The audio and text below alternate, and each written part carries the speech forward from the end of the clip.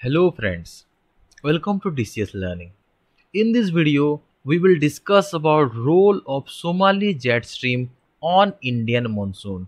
Indian monsoon के ऊपर Somali jet stream का क्या इम्पैक्ट पड़ता है उसके बारे में हम लोग इस वीडियो में डिटेल्स में डिस्कस करेंगे सो so, दोस्तों polar and soft tropical jet stream जो होते हैं they are permanent jet stream they are greatly in uh, they greatly influence the weather of temperate region. ये जो पोलार और सब ट्रॉपिकल जेट स्ट्रीम होते हैं वो टेम्परेट रीजन में उसके वेदर का टेम्परेट रीजन में जो वेदर होता है उसको ग्रेटली इन्फ्लुएंस करते हैं।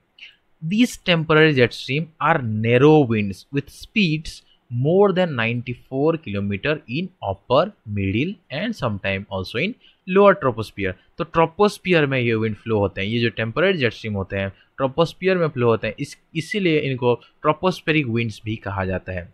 तो ये जो टेम्पररी जेट स्ट्रीम है ट्रॉपिकल या फिर ट्रोपोस्फेरिक टेम्पररी जेट स्ट्रीम है उनमें दो बहुत ही ज़्यादा इंपॉर्टेंट जेट स्ट्रीम है, जिनके बारे में हम लोग पिछले वीडियोज़ में भी डिस्कस किए हैं। यहाँ पे भी हम लोग डिटेल्स में डिस्कस करेंगे।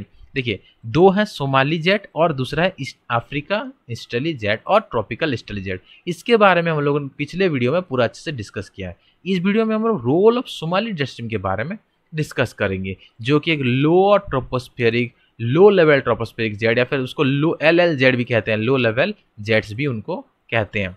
तो यहाँ पे सोमाली जेट स्ट्रीम के बारे में डिस्कस करेंगे, जो कि एक टेम्पररी जेट स्ट्रीम है, जिसका वेलोसिटी 94 किलोमीटर से लेके थोड़ा ज़्यादा भी हो सकता है in upper middle and lower troposphere तो देखिए दीज टू जेट स्ट्रीम ये जो दो जेट स्ट्रीम यहाँ पे फॉर्मेशन होते हैं लोअर लेवल ऑफ़ ट्रोपोस्पियर में they play an important role in the formation and progression of Indian monsoon Indian monsoon monsoon का फॉर्मेशन और प्रोग्रेशन के टाइम इनका बहुत ज़्यादा रोल होता है। So the progress of the south west monsoon towards India is greatly aided by the onset of Somali jet that transits Kenya Somalia and Sahel आप इस फिगर में आप इसको डिटेल्स में समझ लीजिए। देखिए यहाँ पे, ये है इंडियन मानसून का क्या इम्पैक्ट पड़ता है? मतलब क्या इम्पैक्ट पड़ता है रोल ऑफ़ सोमाली जेट का इंडियन मानसून का? उसका फिगर देखिए यहाँ पे। देखिए सोमालिया जो है, ये हॉर्न ऑफ़ अफ्रीका में है। अफ्रीकन कंट्री है हॉर्न ऑफ़ अफ्रीका में यहाँ पे सिचुएटेड है। तो यहाँ पे समर सीज़न में क्या होता है? यहाँ पे लो प्रेशर क्रिएट होता है। ठीक है? यहाँ पे लो प्रेशर क्रिएट होता है। और उसके सराउंडिंग जो सी है इंडियन ओशन वहाँ पे हाई प्रेशर क्रिएट होता है।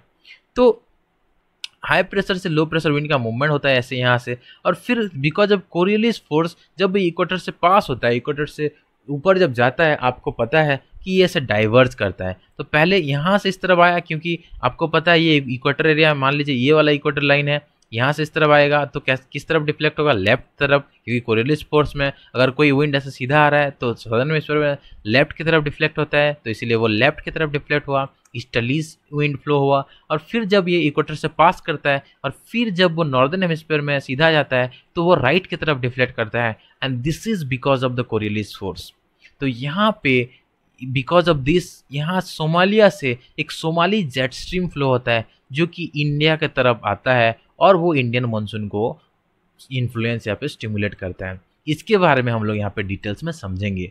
देखिए तो ये जो सोमाली जेट स्ट्रीम है it was observe to flow from Mauritius and northern part of the island of Madagascar before reaching the coast of Kenya of about three degree Celsius three degree sorry three degree south three degree south में जो Kenya है, वहाँ पहले वो Madagascar coast से आता है Mauritius island से ऐसे आता है, फिर माडागास्कर कोस्ट को पार करता है, फिर केनिया में पहुँचता है और फिर वो इससे इस तरफ़ ईस्टवर्ड जो मतलब ईस्टवर्ड मूवमेंट करता है यहाँ पे हम लोगों ने वो फिगर में अच्छे से समझ लिया। Now the it strengthen the permanent high near Madagascar देखिए यहाँ पे इस फिगर में आप समझ सकते हैं यहाँ पे माडागास्कर के पास यहाँ पे परमानेंट हाई क्रिएट होता है यहाँ पे। परमानेंट हाई यहाँ पे आपको क्रिएट हो, हो, होता देखा है यहाँ पे आप लोगों ने। और यहाँ पे फिर ऐसे आता है, यहाँ पे इस, यहाँ इस रीजन पे केनिया है और फिर केनिया से देखे यहाँ पे जब पास करता है तो फिर वो ईस्टर्लीज साइड में मतलब ईस्ट साइड में डिफ्लेक्ट होता है वेस्टर्लीज बन के डिफ्लेक्ट होता है। ईस्ट साइड में डिफ्लेक्ट होता है मतलब ये कोरली स्पोर्ट्स की वजह से होता है, वो ईस्टलीज बन के बन के यहाँ से आगे फ्लो होता है। अब उसको थोड़ा डिटेल्स में समझते हैं। सो द इम्पोर्टेंस ऑफ़ देखिए यहाँ पे जो पास हो, हुआ मतलब केनिया केनिया का कोस्ट रीच करने के बाद यहाँ पे इस तरफ़ आया। It strengthen the permanent high near Madagascar and also helps drive south west monsoon और towards India at a great pace and intensity क्योंकि यहाँ से बहुत ज़ोर से विंड का फ्लो होता है। देखिए ये वेस्टर्ली जो विंड है परमानेंट जेट स्ट्रीम है और आपको पता है जेट सॉरी हाँ जेट स्ट्रीम है। जेट स्ट्रीम क्या होता है? जेट स्ट्रीम बहुत ज़ोर से फ्लो होता है। तो आपको पता है तो इसीलिए बहुत ज़ोर से फ्लो होने के कारण जो इंडिया में जो मानसून है, उसको तेज़ी से आगे बढ़ाता है इंडियन सब कॉन्टिनेंट की तरफ़। So the importance of the low level jets arise from the fact that its path around nine degree north को inside with a zone that is of coastal upwelling तो नाइन डिग्री नॉर्थ में जो इसका movement होता है उसके साथ साथ वहाँ पे कोस्टल ऑपवेलिंग भी देखने के लिए मिलता है।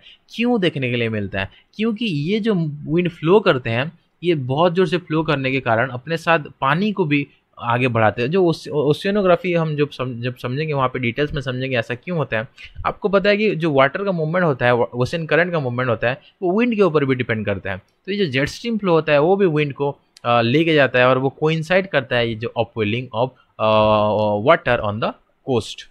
तो ये होता है आपका ये चीज़। Now as the strong wind drives drive away the surface coastal water towards the east east की तरफ़ ये ड्राइव करके ले जाते हैं extremely cold water from the depth of the sea rises upward to preserve the continuity of mass क्योंकि देखिए, बहुत सारा पानी अगर इधर से इस तरह चला जाएगा तो यहाँ पे पानी खाली हो जाएगा ना तो नीचे वाला पानी जो कोल्ड वाटर था वो ऊपर चला आता है। और फिर जो वार्म वाटर वो इस तरफ़ चला जाता है। यहाँ पे फिर कोल्ड वाटर इस तरफ़ से, ये वाटर नीचे चला जाता है, ठंडा हो जाता है और फिर यहाँ से इस तरफ़ मूवमेंट होता है। ऐसे यहाँ वाटर का साइकिल भी चालू होता है, जो कि वाटर को बैलेंस करता है। So peculiar feature of Somali current is reversal in direction with onset of summer monsoon. Summer monsoon के टाइम में ये क्या होता है? रिवर्सल हो जाता है। जो डायरेक्शन का रिवर्स होना, ये एक पेकुलर फीचर है। सोमालियन करंट का। द इन विंटर इसका क्या होता है? देखिए विंटर समर में क्या हुआ कि यहाँ से इस तरफ़ वो मूवमेंट हुआ। इस फिगर में अब हमने अच्छे से समझा कि यहाँ से समर में इस तरफ़ मूवमेंट होता है। सो so, विंटर uh, में क्या होता है देखिए?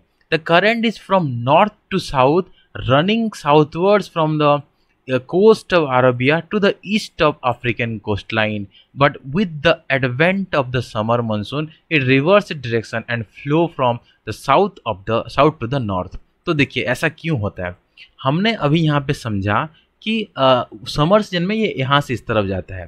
लेकिन विंटर में क्या होता है? हमको पता है, यहाँ पे तिब्बतियन प्लेटो इसके ऊपर है, वहाँ पे क्या होता है? वहाँ पे हाई प्रेशर उस टाइम में क्रिएट होता है इस रीजन में कंपेरेटिवली उस टाइम में लो प्रेशर होता है विंटर सीज़न में।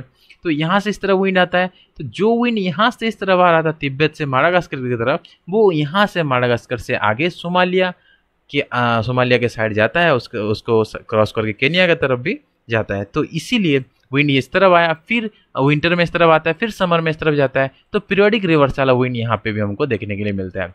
So this is all about the Somalian current जो कि रिवर्सल भी करता है हमको, ये देखने के लिए मिला। तो जब वो ज़्यादा मतलब ज़्यादा इंटेंसिटी से फ्लो होता है समर सीज़न में तो वो मॉइस्चर कंटेनिंग विंड अपने साथ लेके आता है और इंडिया में ज़्यादा मानसून या फिर ज़्यादा रेनफॉल कराता है।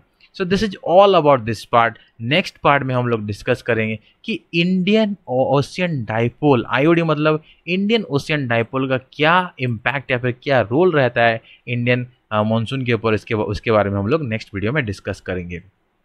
सो so, इस वीडियो में इतना ही। Stay order for the next part thank you